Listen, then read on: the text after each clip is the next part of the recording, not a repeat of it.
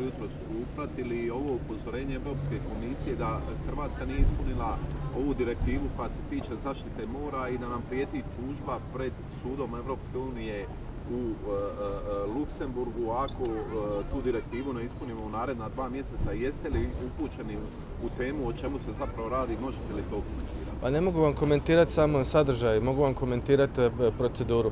Dakle, ako se radi o proceduri, to vam je obična Europska komisija, odnosno Unija, propiše nekoliko godina za prilagođavanje i usklađivanje nacionalnih zakonodavstava s istom.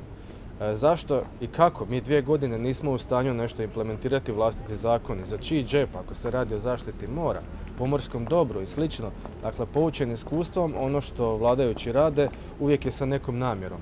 E, ta su pitanja otvorena naravno, no evo, oni su spremni žrtvovati javni interes e, pred nečim privatnim, pred nekim partikularnim, to je više nego očito. Dakle, ja očekujem od vlade da će munjevito učiniti to da izbjegne tužbu pred e, Europskim sudom. Nadam se da će to učiniti jer nije prvi slučaj da bi plaćali penale ako je nekom u interesu da tako bude.